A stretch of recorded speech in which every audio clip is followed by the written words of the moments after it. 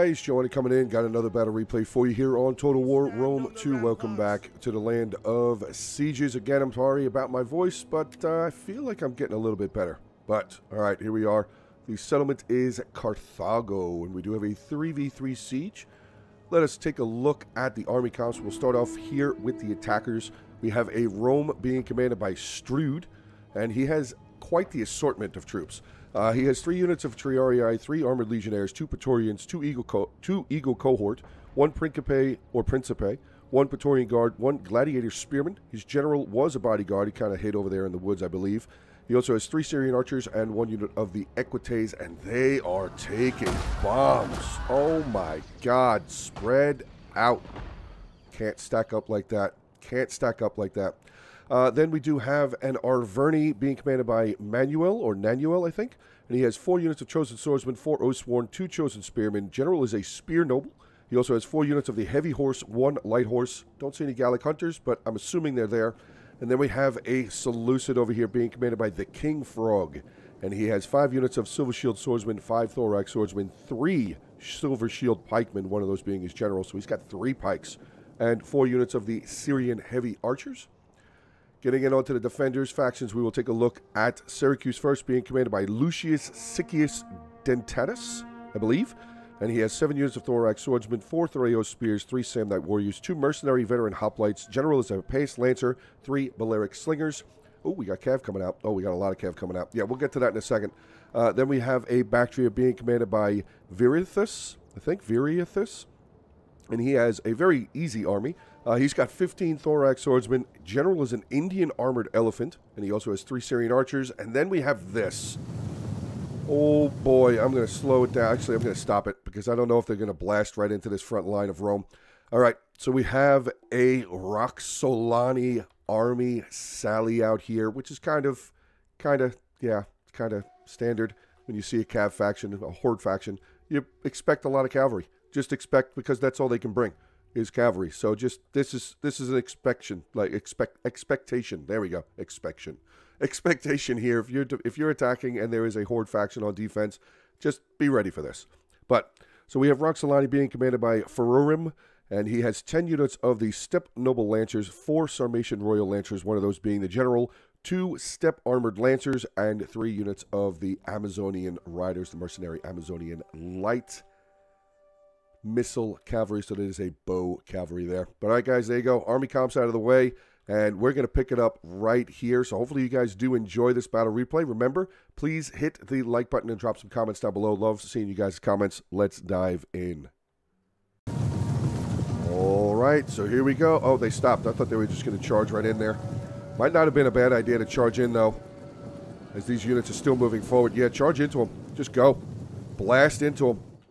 Come on, come on. Oh, look at these archers wide open.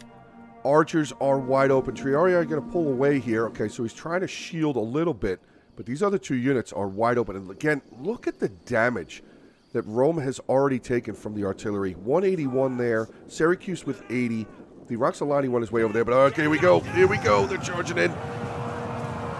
Eagle cohort getting mowed down by two steppe steppe lancers there, steppe noble lancers, you should say. Armored Legionnaires taking a lot of damage as well. Cavalry coming around, and yeah, this is open. Oh, this is open right there. Get into these archers, boys. Let's go. Go, go, go, go, go. Get into them. Get into them. Go, go, go, go, go. I see Cav on the other side there for Roxolani, but I don't think they're going to do very well because the Arverni had a ton of cavalry on that other side. So probably not going to do very well. I'm just going to keep maintaining over on this side. Let's see how we're doing. Eagle cohort down to 140. There was one unit there, yeah, down to 83 armored legionnaires already. Now, what he really wants to be doing is cycle charging. He wants to get them in, in for a couple of seconds and bring them right back out. Looks like he kind of missed the opportunity here to get around the flank into those archers. He definitely could have gotten into two of those units of the archers there. But it does look like Roxolani coming out with that first initial charge. They are going to pull back away. Have a unit here rear charging some Triarii and Armored Legionnaires as well. Another big charge coming in. Oh, they just got off the tower. Completely unexpecting that charge. Oh, boy, yeah. Veteran Legionnaires are losing. keeping these three units in melee, which is not the greatest idea because they are very heavy shot cavalry. I mean, one of them is winning currently right now, but they do not have the highest of melee defense. So you definitely don't want to leave them in there for very long. Did, oh, he got a unit through. Got into some of the Syrian archers there, down to 73, 72 men. They may come back if they're able to get back behind the lines. Another unit has broken through here. Steppe Noble Lancers, 36, 39 kills, getting into some of the Praetorians, doing a ton of damage against that Praetorian unit. They actually did cycle two other units around, getting into some uh, more of the Praetorians there. Maybe got into some of the archers. Looks like he did. Got into a little bit of the Syrian archers here down to 93. This unit here down to 99. But we do have the Gladiator Spearmen are breaking down very, very quickly.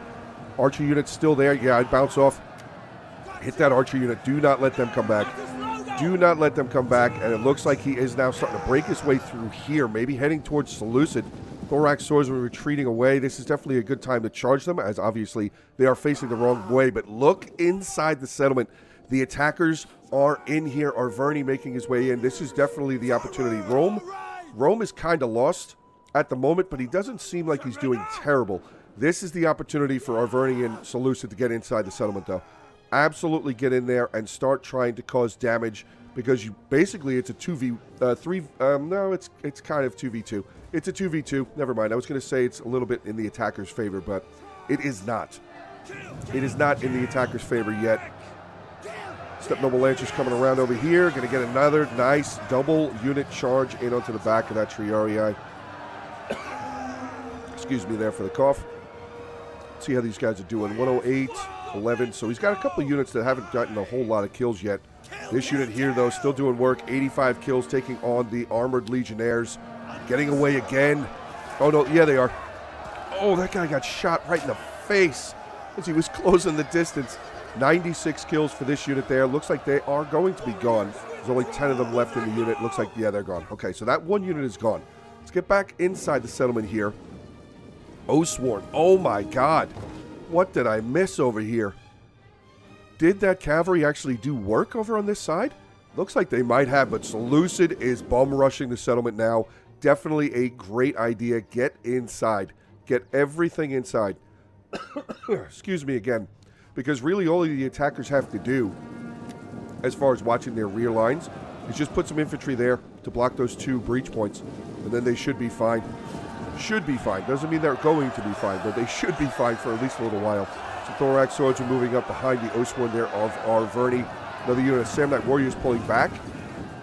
So it does look like Syracuse, uh, sorry, Syracuse is going to pull away here. Just try and keep an eye on the uh, gate tower there.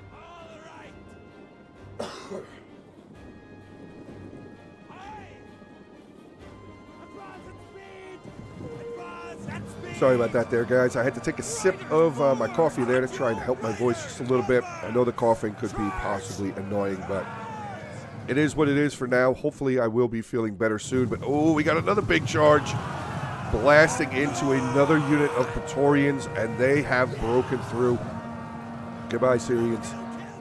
Goodbye, Syrians. 110 kills for that unit of Noble Lancers there. The general is outside, so the Sarmatian Lancers, oh, yeah, they are. Sarmatian Royal Lancers now coming out, getting into the fight.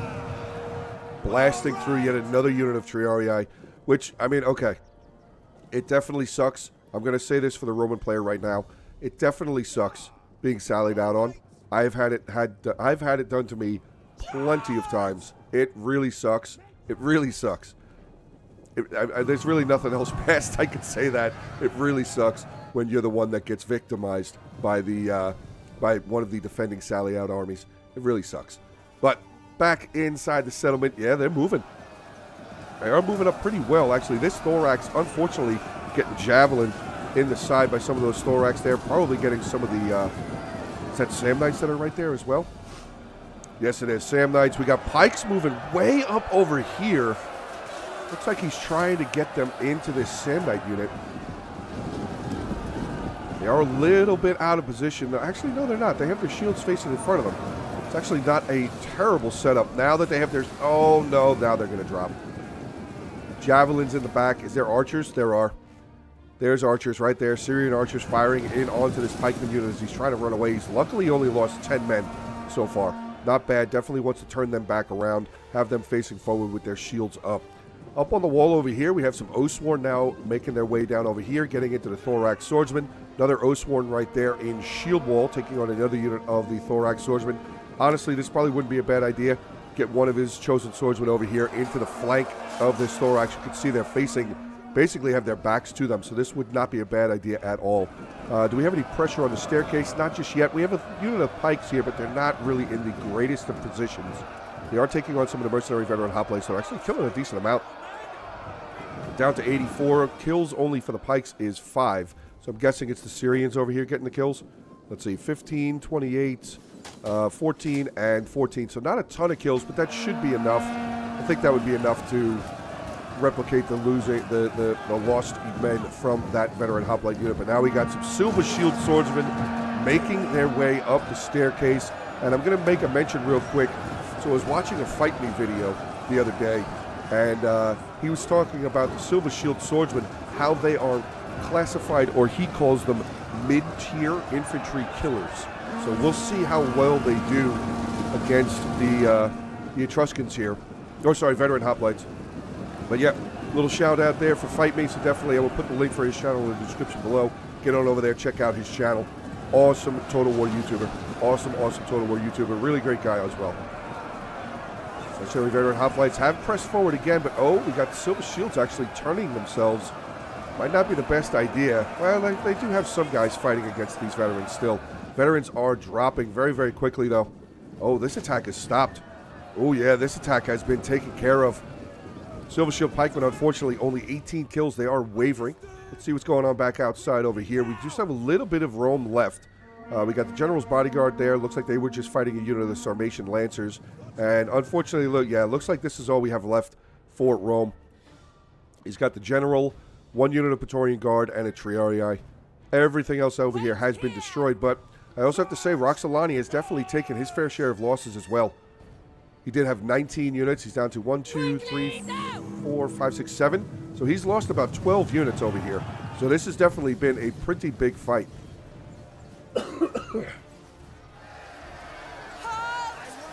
General getting dropped. Yep, I think he's about to get charged in the back again. Yeah, he is. So that is pretty much going to be the end of Rome. Again, big battle over here, though. A lot of units were lost. Rome, unfortunately, lost his whole army, but he definitely did a lot of damage to Roxolani. So that was really big. It was really, really big. Arverni still has a lot of his cavalry left. Actually, looks like he's got three units of the heavy horse. So did he lose one of the heavy horse, or are they inside? Not sure exactly where they are. They might be gone. Maybe he did send a unit over there to try and help out, but he's only got three units remaining. Maybe he's got a fourth sitting here. Maybe they're hidden. But he does still have some pretty strong units of cavalry left. Doesn't look like he's lost very much at all. No, doesn't look like he's lost very many of that cavalry. So that could still be something. Maybe the Arverni cavalry can get over here and take out these shock guys. If they can get into melee with them and hold them in melee, they could definitely do a lot of damage against them. Heavy horse are really... Oh, looks like that's what he's planning on doing. He is making it. There's the fourth unit. So the fourth unit is still there. Very strong. Only lost one man. Yeah, this is an opportunity. I would use the light horse to catch this cavalry and then get the heavy horse over there. I mean, there's not really much he's going to be able to do against the, the Amazonian, the, the uh, Archer cav. It's really not a lot he's going to be able to do against that. But he could easily get this, this light horse over here to catch up to at least some of this heavy shot cavalry and then bring one or two of his heavy horse in there. Would probably finish these guys off. Maybe. Or definitely, well, these 22 14, these guys still have 55 and 68 for the general. So it wouldn't be a bad idea. Oh, no, already, Arverni is moving. He is still moving over there. Let's take a look back inside the settlement, how we're doing on the staircase. Silver Shield Swordsman, 65 kills, taking on some thorax. Mercenary Veteran Hoplites are still there. I guess they stopped firing at them? Oh, no, he's firing over here now. Firing into a unit of Samnites. Unfortunately, shooting right into their shields is not a good idea. You won't get a whole lot of kills. Honestly, it probably would be better for the Syrian, uh, for the uh, for the Seleucid player to have his archers back over here firing it onto this staircase. Another unit of Silver Shield Pikemen have made their way forward onto the staircase behind two units here. We have a Silver Shield and a Thorax Swordsman. Oh boy. Thureos Spears for Sardicios has shown up. 47 kills for them. Wow. Doing some damage. Definitely doing some damage. I did see real quick the Roxolani banners are making their way back inside the settlement, so they will be able to be used for any sort of maybe rear charges or you know just distractions basically for the attackers moving forward.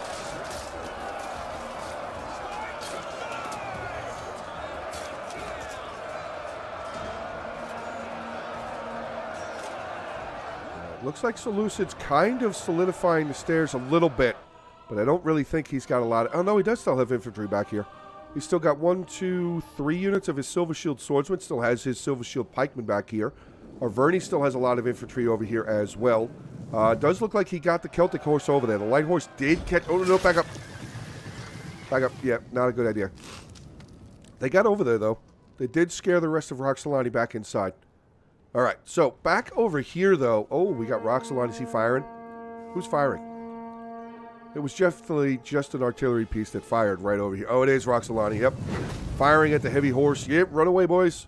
Run away. Run away. All right, so back over here. Back here with the Thorax Swordsman still holding the front line, taking on some Chosen Swordsmen, two units of Chosen Swordsmen. Again, I would definitely get them out of shield wall and have them actually start attacking instead of just standing there in shield wall fighting these. Because you you're you're one of the attackers. You need to get in. Like shield wall is useful, but like yeah, he's not he's not really getting very much ground. This Thorax Swordsman is losing decisively. How are we looking on the wall? Oathsworn here, 67 kills down to 59 men. Currently taking on some more of the Thorax Swordsman there. The Light Horse just died. I don't know what he did there. I don't know what he did just there. Looks like Roxolani may be coming back out here with the horse archers, the Amazonian riders, maybe. He's keeping his general. He's keeping everybody back here, and he didn't lose. Okay, so he still has four units of them. Okay. Back over on the other side, Seleucid's starting to slowly make their way forward here. They're in shield wall, so unfortunately they won't be able to really throw their javelins. And in shield wall, they won't great, get the greatest of charge bonus either. Starting to get shot by the arrow tower here now. Starting to lose a couple. He's down two men so far. I mean, Thorax and Samnites, I want to say that the Silver Shield Swordsman would win that. Oh, no, don't turn around. Don't turn around. Oh, the javelins. Murder Sticks catching the Silver Shield Swordsman, and that allowed the Samnites to get a charge off onto the Silver Shield Swordsman. That is rough. We actually have Syracuse now pressing Arverni back. Arverni is now coming down off the wall. Now, we still have infantry here. We have two units, Silver Shield Swordsman and Thorax Swordsman outside for Seleucid. Definitely wants to get them inside. Really definitely wants to get them inside. We have the Gallic Hunters have now shown up. Let's see what they're at. 24, 12, 12, and 27. It looks like there's a lot of archers up here. Yeah, the Amazonian Riders are firing. Syrian Archers 137, 190, so they're probably out of ammo. But the Amazonian Riders are now going to start unloading here as well onto those Gallics, and they're going to drop them. Gallic armor, not good. It's only a 10 only a 10 here, and he's just firing into the infantry. He's firing into, although they were retreating, at least one of them was retreating there. I think that was that unit. So Bactria actually setting up another unit of Thorax Swordsmen there. I would honestly have these Gallics firing up here on the hill. Because the Amazonian Riders only have 10 armor as well, but oh, we got another unit. Syrian Archers joining the pin cushioning as well dropping these Gallics down very, very quickly. We have another Syrian right here. Looks like they may be out of ammunition. Only 42 kills. Yeah, that is one of the downsides of firing straight into your enemy, like right into their face. It's just not going to get a lot of kills. You're going to be shooting into their shields a lot. Silver Shield Swordsmen now making their way up here towards some Samnites. Seleucid on the move here yet again. But I don't really know how much that's going to help. They're already really far down in the balance of power. But the battle is never over. I want to say the battle is never over until it, honestly, um, until it's over, over. It's never fully over. You never know. Just go for kills. Basically, just go for kills. Get what you can. I mean, the Samnites, yeah, losing decisively. Thorax moving forward. They're probably going to start losing as well. And we have a Thureos moving up over here. 31 kills total for them. Another Samnites up on the wall there. Samnites here with 61 kills. Archers firing again. Yeah, we got Syrian archers there firing away. 67 kills for them. They are just firing up into this huge blob of infantry right now. Yeah, Samnites are losing. Thorax haven't lost anybody just yet. Oh, oh, the Thureos. Oh. shots, tosses from the Thureos into the back of the Silver Shield swordsman. Not really killing very many of them, though. Not noticing a whole lot drop. He's got 34 kills. He had 31 when he came up here. So, yeah, he hasn't really been very effective. 35, 36. So, yeah, they're not getting very many kills. That's interesting. That is definitely interesting. 37. So, they've only got six. Look at all those javelins going down there. Seven kills. Wow, that's that's interesting. I find that to be very interesting. Uh, back in the center here, though, Thorax Swordsman getting them yeah, evaporated. Uh, we got the Silver Shield Pikeman General for Solution starting to make his way forward. The Archer's going to charge up first, maybe try and stop any infantry charging. Nope, they're running away. Okay, I thought they were going to go up there. Are they still have bows? No, they have their daggers out. Probably wouldn't have been a bad idea, but oh, no, no, no, actually, don't do that. Don't charge into a Silver Shield Pikeman. Definitely don't want to do that. Nope, no, he's doing it. He's doing it. He's charging down into those spikes. Kind of got into the line a little bit.